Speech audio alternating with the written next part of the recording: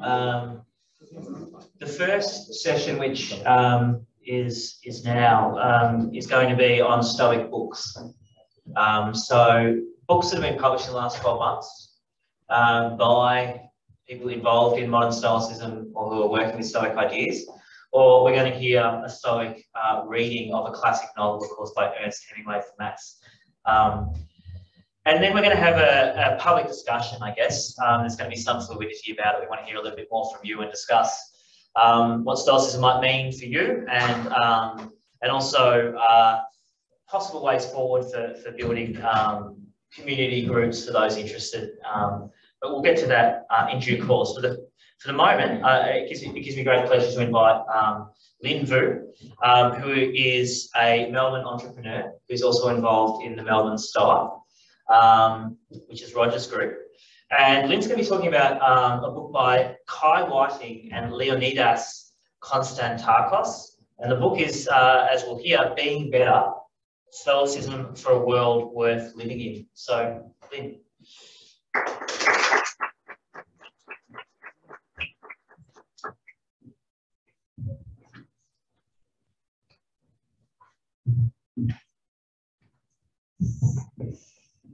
Good afternoon, everyone. My name is Lyn, and um, my professional background in mathematics and computer science has nothing to do with philosophy. And uh, now my husband and I run a, a, company in construction and property development, and thus has very little to do with philosophy either. So I um, discover stoicisms in the phase in my life where I was looking for more spiritual growth.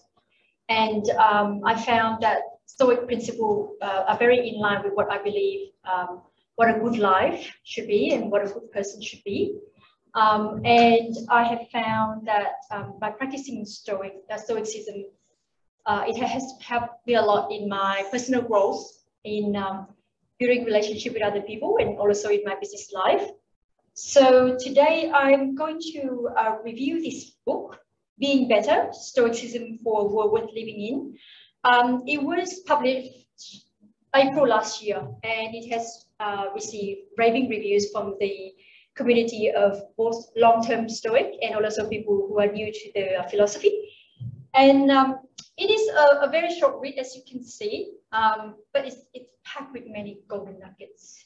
And I can find quotes and interpretation of Stoicism in this book that I can print out and make little poster and hang around the house.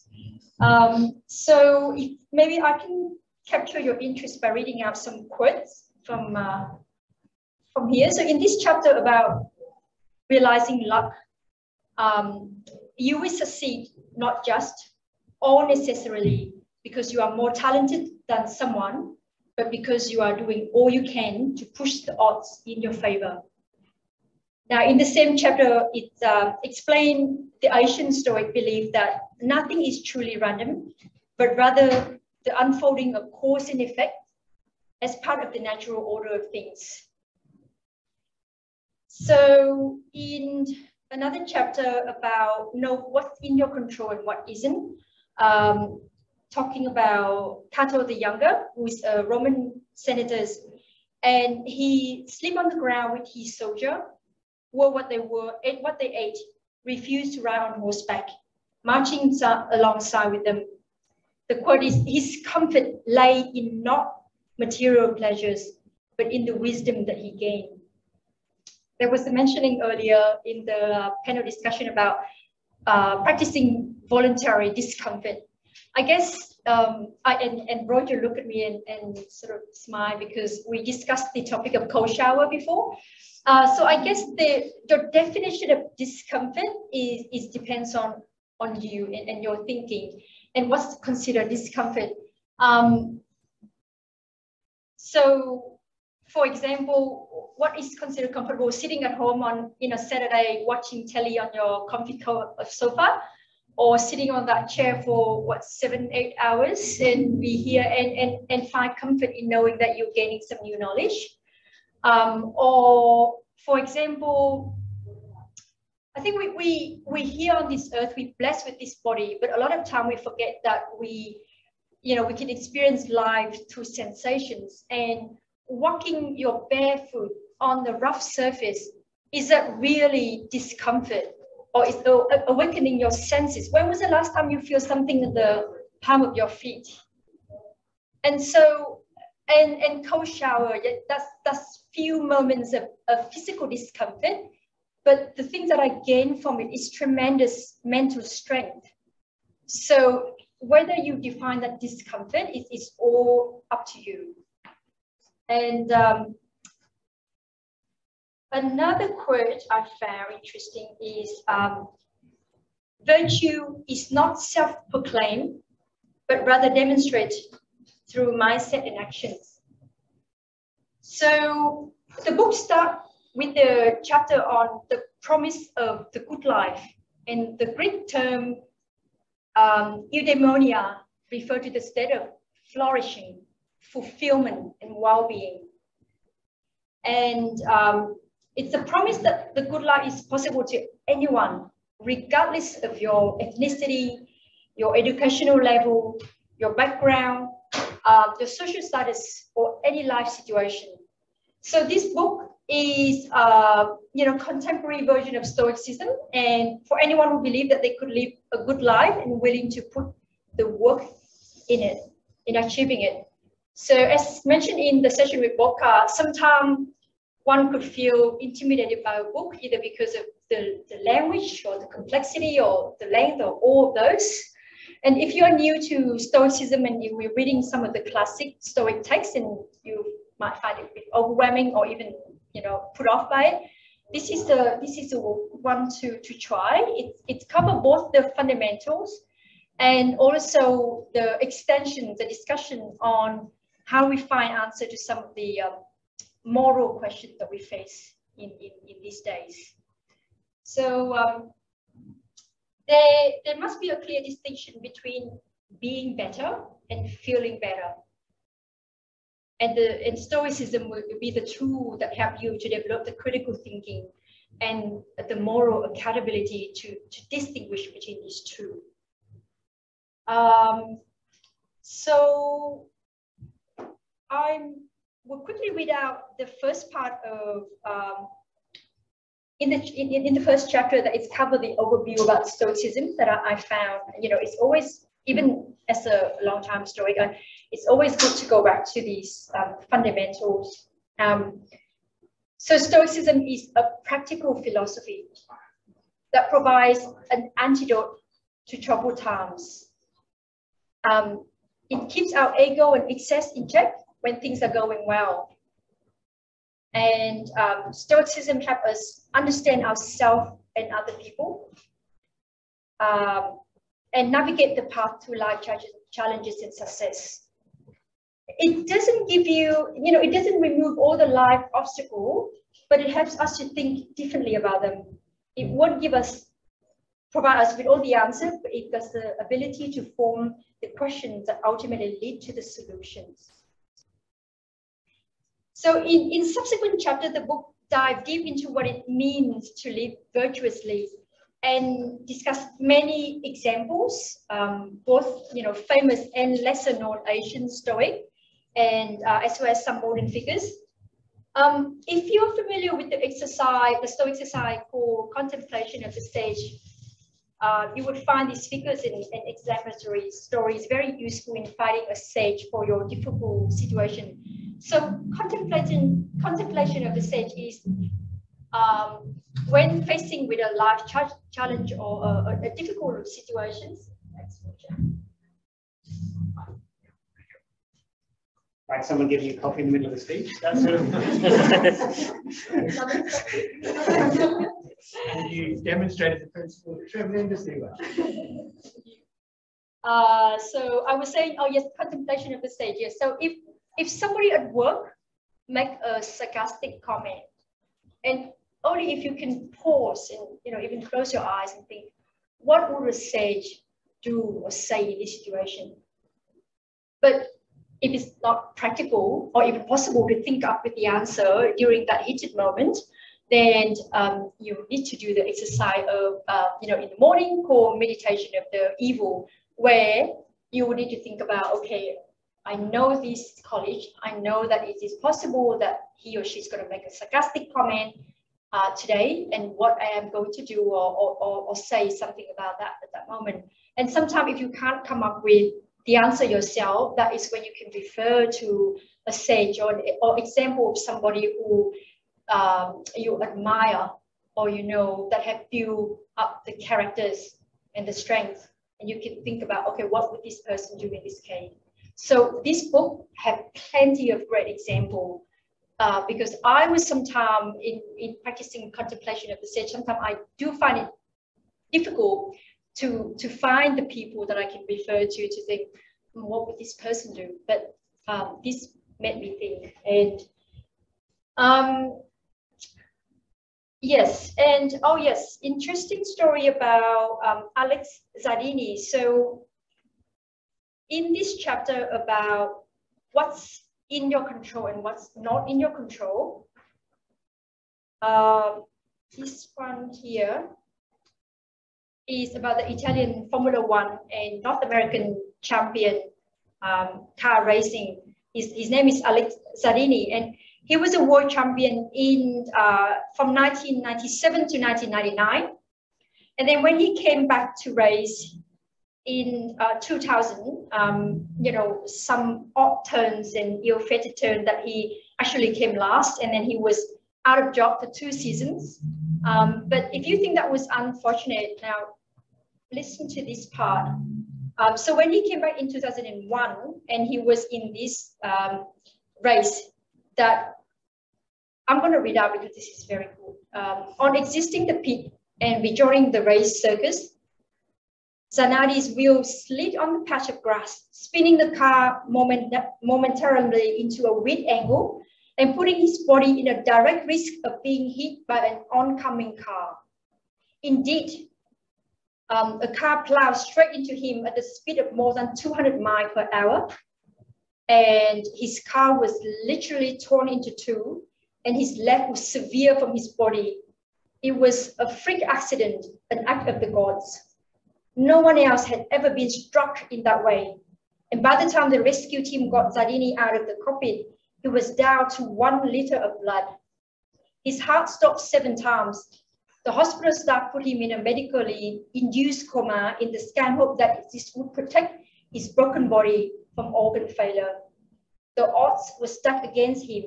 No one has ever survived a motor racing accident that severe. Unlucky was an under understatement. So once the worst was over and the pain relieving medical medication has been reduced to the level where he could begin to think. What do you think a normal person would think? Um, most of us, many of us, I should say, you know, could, could spend time dwelling on the fact of how unlucky I am, what a freak accident it was. Uh, and being a Stoic, Zardini asked himself a difficult question. How will I do all the things I still want to do without my legs? So it's a framing of the thoughts. And there's a lot more after this about how interesting life he lived afterwards, after the incident, and applying, you know, Stoic principle, and still can have a good life regardless of what life situation it is. Um, but you know, it does not have to wait for the extreme unfortunate, unfortunate event to apply Stoic principle it is the your everyday little things that make us practice Stoic principle and you know become a better version of ourselves and be ready at whatever life throw at us. So in this book, um, Kai and Leo talk a lot about the practical example in their own daily challenges, which is what I really like about the book. Um, for example, Kai Leo don't drink dairy milk. Some of it is to do with the concern for the animals and how the dairy industry have violated the animal welfare and focused only on profit. Now it's easy for them to make a personal choice of what milk product to use. But when it's come to other people, how do they how does this play out? So uh, if they go to someone else's house where they offer a cup of tea with milk in it, what would they do? Accept the cup of milk, uh, sorry, cup of tea with milk they already made or refuse? Um, is it now the right time to talk about the opinion about the dairy industry or whether is the other person, you know, in the position or even interested in hearing the opinion at the time. So uh, this is where it, it's, the, it's the everyday decision that, that prepare yourself for much more difficult situations that you might face in life. Um, so there's more in here. I don't want to give out too much spoilers. Um, and um, there's another uh, very interesting story about what's in your control and not what not in your control.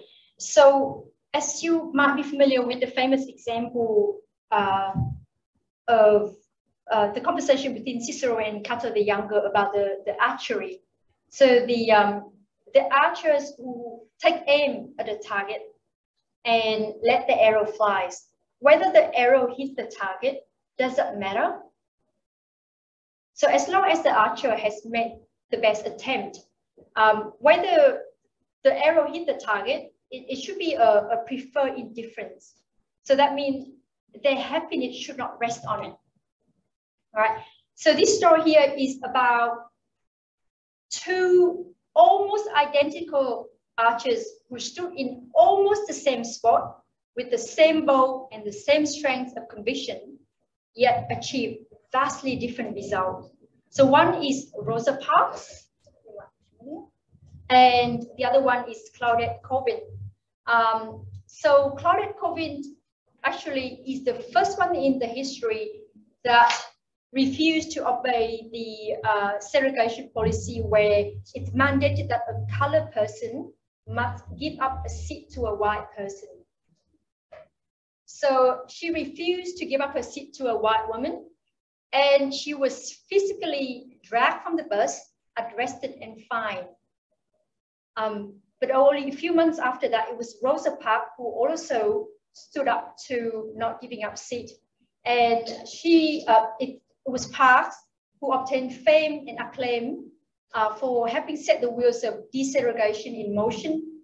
Uh, and the US Congress honored her as the first lady of civil rights and the mother of freedom of movement.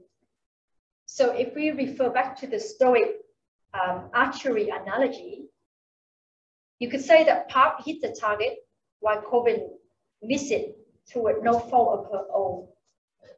And However, aiming for excellence, both women did the right thing and their action was equally virtuous. Um, and so there are, you know, this, this day I um, listen to a lot of audiobooks and usually if I find it's a good book and something that I want to read again, I would physically order the order the physical book in. And uh, there's some books that I go through maybe in one weekend or even one sitting, and some other books that take me a, a long time to finish. And uh, one of them is called um, Simplicity, How to Live More with Less by Dominique Loreau. She's French and she lived in Japan for a long time. So her book is a combination of wisdom from both the West and the East. Um, so that one, it's, it's been more than two years and I'm only halfway through it. And it's also a very short read, it's even shorter than this one. And if it wasn't for the task that I have to review this book at uh, Melbourne Stoic this is the book that I would like to take a lot longer to read, probably six months to a year. There are some wonderful thought-provoking questions at the end of each chapter that I found that even I haven't got the answer for them. Um, so I usually like to ponder on the chapter and especially in this case, those questions before I move on to the next one. So uh, yes, it, it, it is great. And I think it, um, it also, I have a little library at home where I only keep the books that, um, you know, I, I hope that my children would um, accidentally discover at moments of boredom or out of curiosity. So I think that if, if Stoic principle, you know, 2000 years ago, uh, these days are still very applicable, I'm pretty sure that the example and the story in this book are still relevant in 20 years time when my children come back and visit me and pick up the book from the bookshelf. So uh, yes, well, thank you for your attention and I hope it has been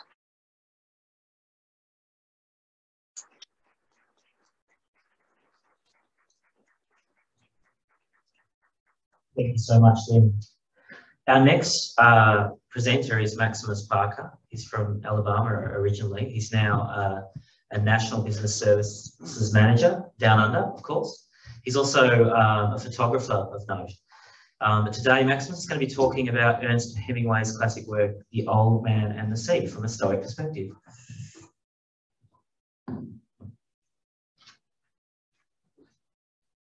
Hello, everyone. How are you doing? Um, in full disclosure, I lost my voice yesterday, so I'm gonna have to practice some Stoic principles and really push through this. And uh, you guys also do something with me and listen to this very grating, raspy voice. So I guess for context, since 2019, I've set a goal for myself to read at least one book a week. That with the goal being 52 books per year. Um, right now, I'm on 241 books. The book that I'm currently reading being Cossacks by Tolstoy, which is, you know, I'm actually enjoying. Um, I ran into this little book in the midst of me reading things like Nietzsche, Dostoevsky, uh, Cormac McCarthy, Ayn Rand, like these giant novels, and I'll take a break and I read like a little novella. I ran into a little book, The Old Man in the Sea by Ernest Hemingway. And during the, it's a very simple book and concept. But I guess because I'm constantly reading, constantly changing my perspective, the way I see things, the way I interpret things are a little different. And I try to delve deeper in them and really try to get like my own meaning from it or see what I can inject or extract that might not be something that you could just Google or type and kind of get from that. And obviously the stoicism impacted me. That's probably why I view this book in this particular way. So it's technically pretty simple. The book is about this old man, Santiago. Um, he's down on his luck. He hasn't caught a fish in 87 days, which is terrible in a little poor fisherman village. He's being kept alive by a boy who inexplicably still believes in him. Um, the little boy is keeping him alive, stealing food, bringing food, little coffees every now and then. So Santiago one day goes out in the sea, thinking that, you know, it may be another failure like it's been many times before, but this time he actually snags the fish. And this fish is huge, right? So this fish drags Santiago for three days. And during these three days, it's just him on this little skiff by himself and his hands are bleeding. His hands cramped. He's an old man. Um, his and he just goes through so much pain and so much torment. He has to constantly like remind himself to like clear his head because things will get foggy after two or three days on the ocean being dragged by this huge marlin. Eventually, the fish comes up, and like I said, it's a giant fish. It's 1,500 pounds to you Australians. I think that's around 700 kgs. Um, it's bigger than his boat. So Santiago sees the opportunity, uh, harpoons him, kills him. He's elated about it. You know, he gets the fish, it to the side of the boat because the fish is actually bigger than the boat. The fish can't fit on the boat. So he had to strap it to the side of the boat and he starts sailing back home. He's thinking about all these things he's gonna get without his meat and all this thing. And now he's back on top on the fisherman village just to biggest fish. So his whole life, everything that he's done is kind of validated by this moment, you know. He was feeling like a loser before. Um, but when he killed the fish, he used a harpoon, as I said. So harpoons draw blood, and blood draws sharks. And the first shark that comes for the fish, Santiago is ready for him, right? He cuts through the, he sees the big fin cutting through the water. It's a mako shark, the biggest one Santiago's ever seen. And Santiago has seen a lot of fish. So he, this is a big shark. Santiago uses the same harpoon, kills that fish. You know, he's thinking, okay, I think the bad time is coming. Two more fish come, he kills one. One of them takes his harpoon, so he's down to a knife, which he tapes to one of the oars. Um, eventually, more sharks come. He loses his knife. As the sun sets and he's wait and he's like very far out, um, around 60 pounds is missing from the fish. He's it's hard for me to even look at it now. He feels apologetic for killing the fish for going out so long.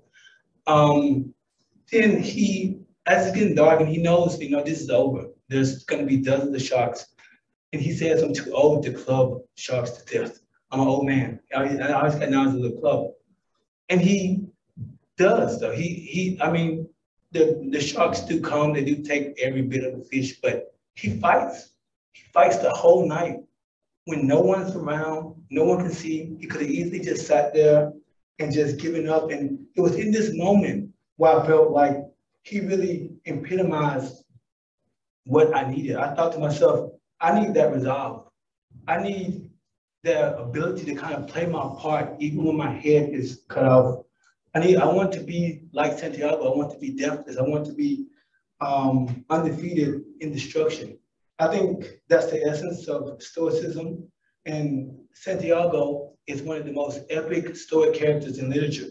So to illustrate this, I'll quickly break down the symbolism, which are the main players in this book. First, we have the sea.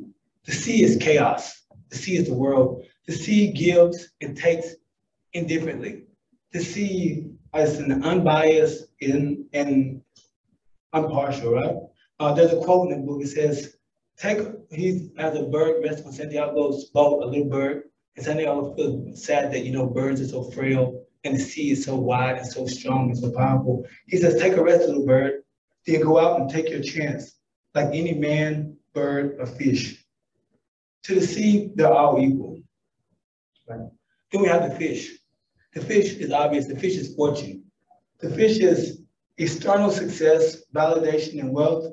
It's all that we may want, all that we may desire for outside of ourselves, outside those things that we can bring into our own lives.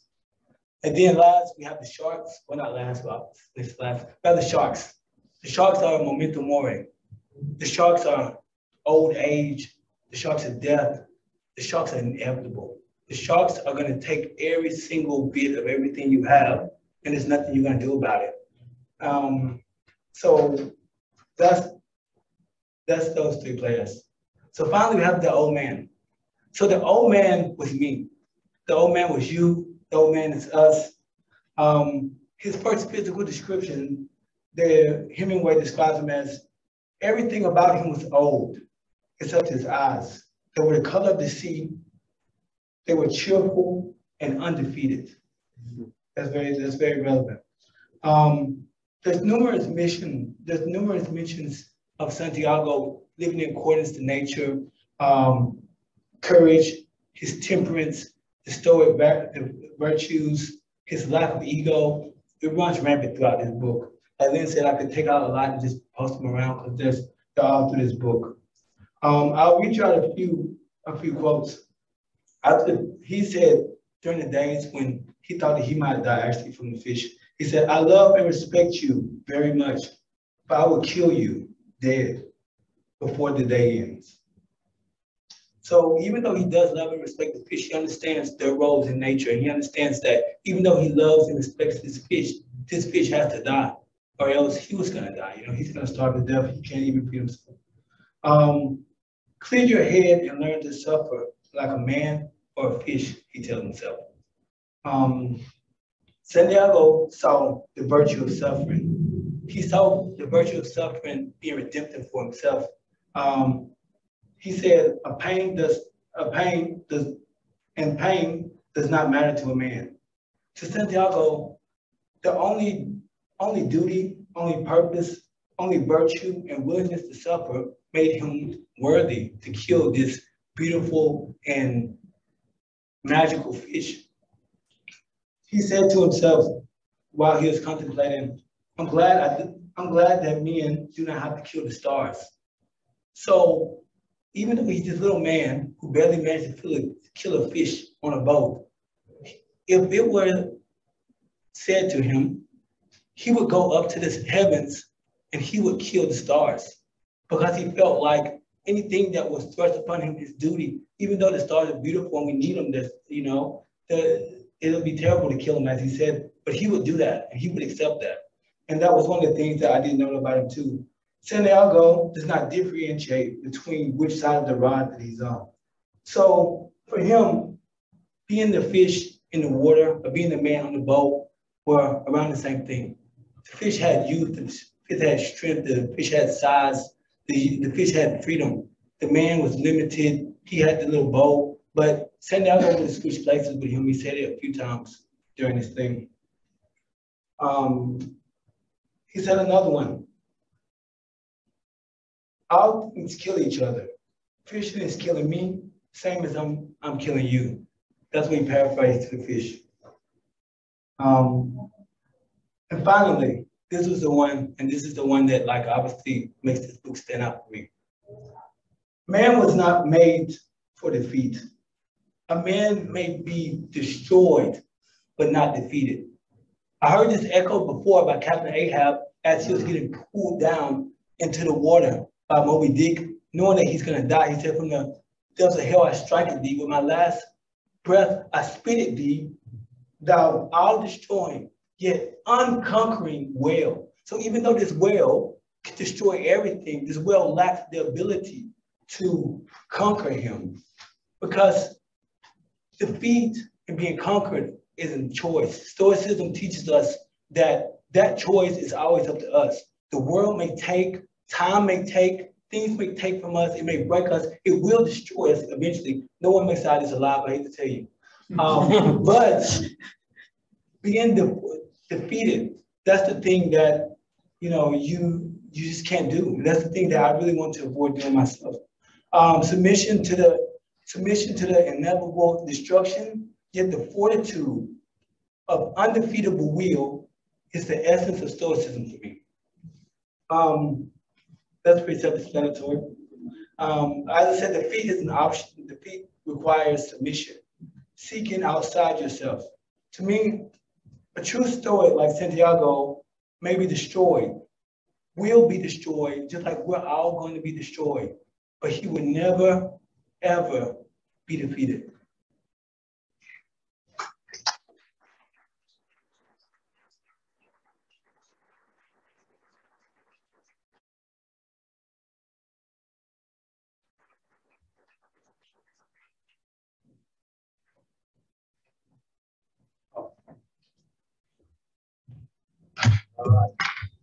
Tough act to follow. Thanks, guys, both of you. That was amazing. It's really good. Um. So let me just um, get my talk up on the phone. I'm talk about a book by Ed Spence, um, uh, which is um, about Stoicism and AI, something I hadn't thought about. Okay, um, and the book is called um, Stoic Philosophy and the Control Problem of AI Technology. So as modern Stoicism grows, new possibilities emerge. Stoicism's credentials are, are clear, I think, um, by virtue of its very popularity in terms of what it can um, do in terms of helping individuals. But can Stoic principles help us address the challenges posed to us collectively in the 21st century with the advent of monopolistic information and communications uh, technologies and, and uh, monopolistic companies like Facebook, Twitter, and Google, as well as the continuing uh, developments of AI, artificial intelligence. So this is this is a challenge. Like that's the question that Ed Spence asks. He contends, I think, with some um, force that um, collectively these are amongst the biggest things we have to face. So if you're familiar with Shoshana Zuboff's book, Surveillance Capitalism, Ed Spence's Stoic Philosophy and the Control Problem of AI Tech, um, full title Caught in the Web, which came out last year. Um, it's, it's a book which addresses similar subject matter. Um, as we've been learning since at least 2014, when awareness began to catch on about how governments, private and partisan interests can use social media to rapidly spread mass mis and disinformation, learned a lot more since. Increasing reliance of more and more people on social media platforms like Facebook to get their news and views raises what um, Ed calls profound issues of privacy, transparency, accountability, opacity, truth, trust, as well as about the corruption of information. So this is heavy stuff.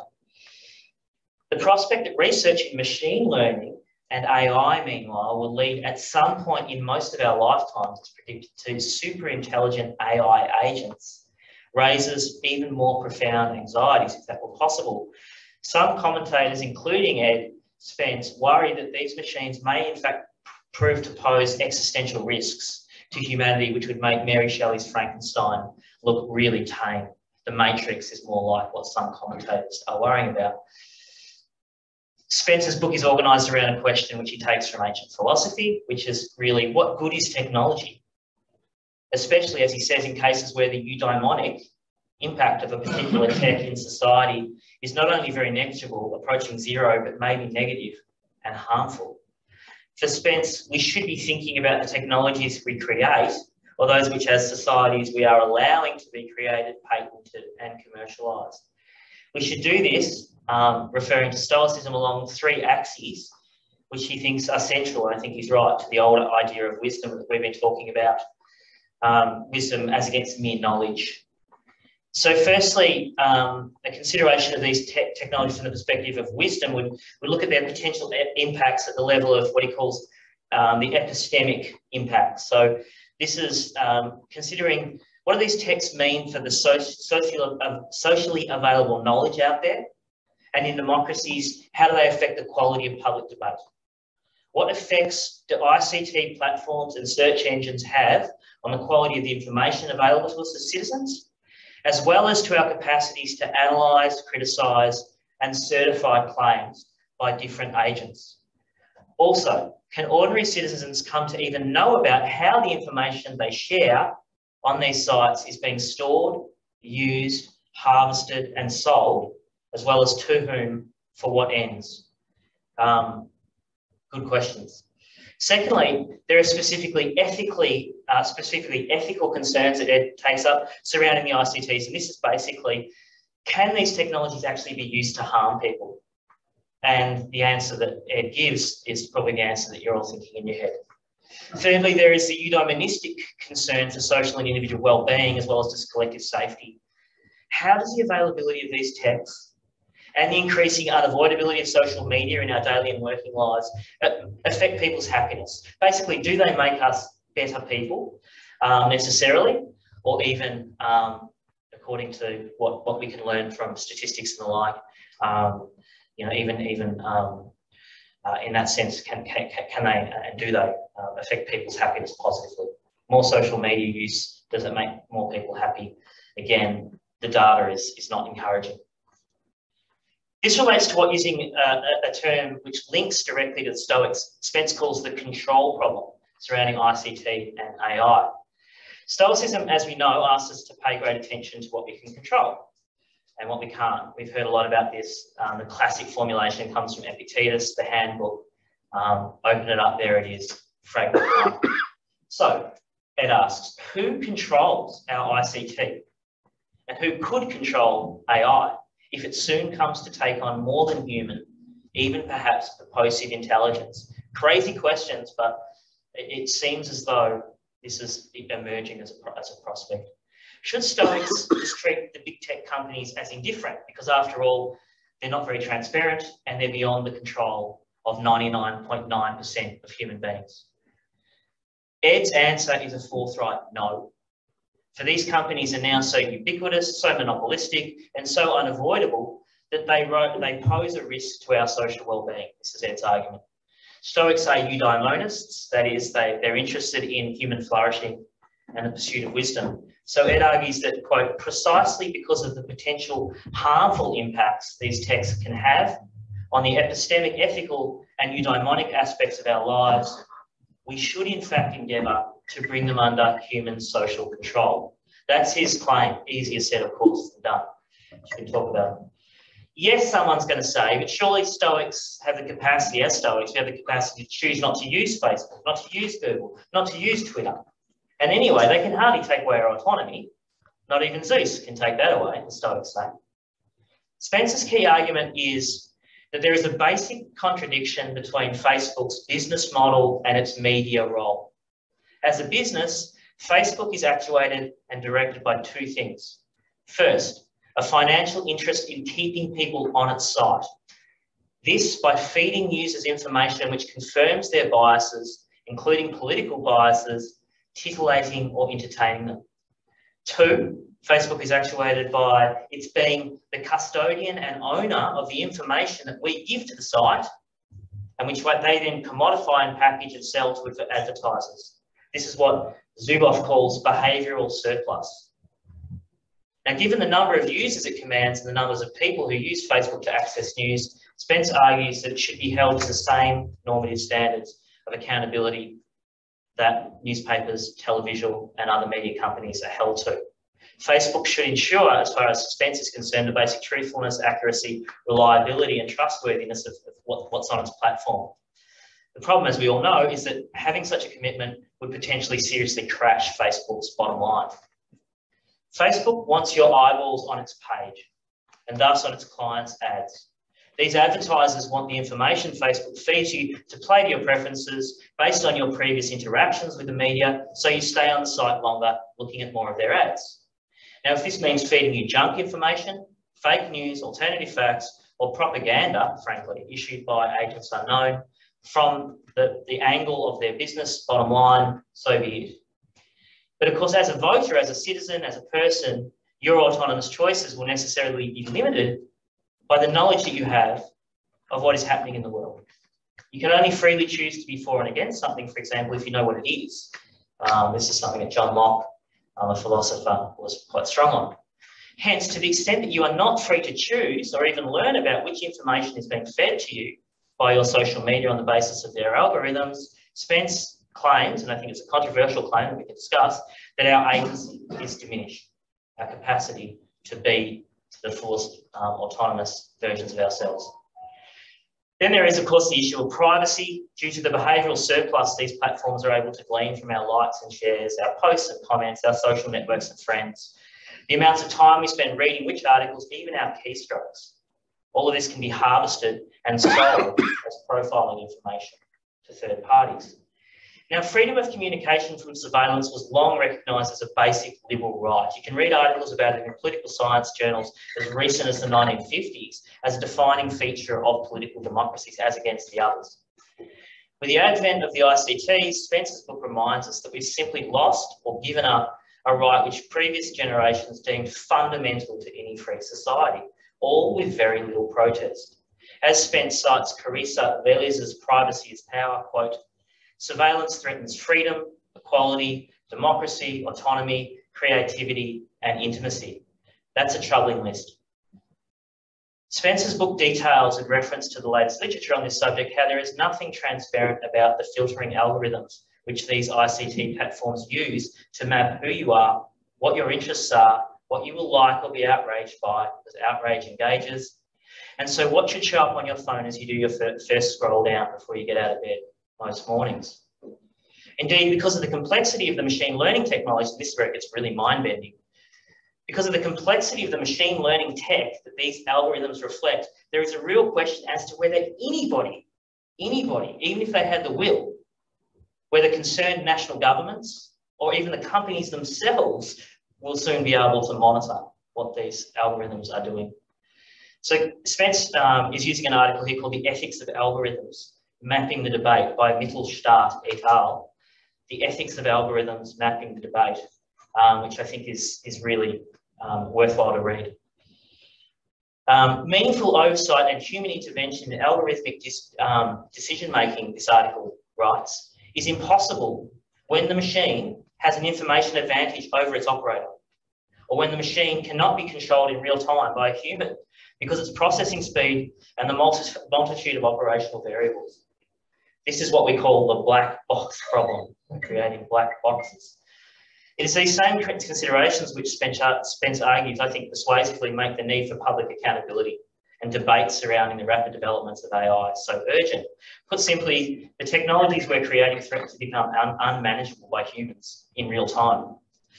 This, not simply by any government who might have the concerns, but even by the companies who are eagerly developing these technologies playing with creating toys his capabilities could soon affect nearly everybody whilst being betrothed to nothing greater than their own shareholder value.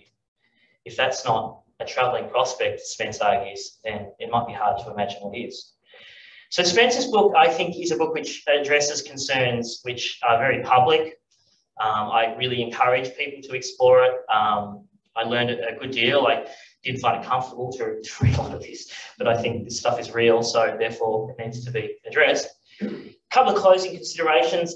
I would argue, and um, I'd be fascinated to hear what Ed might say about this, that I, I felt that the, the stoic dimension of the ethics that, you know, uh, you don't need to be stoic to be concerned about this stuff. Ed, Ed um, presents stoic arguments um, against these technologies and some of these troubling prospects. Fair enough. Um, but perhaps it's a strength of the book that, in fact, I think you don't need to be um, doctrinally uh, in any particular school. Um, some basic commitment to cosmopolitanism, democracy, wisdom, and human dignity will get you across the line. Secondly, Ed's book, he comes from a certain kind of philosophical background, and he does have a tendency to go for acronyms. So here's an example, TGLAT, T-G-L-A-T, Theory of the Good Life and Technology. I would have just gone with Theory of the Good Life. What about CCT-GL, Contributive Capability of Technology for a Good Life?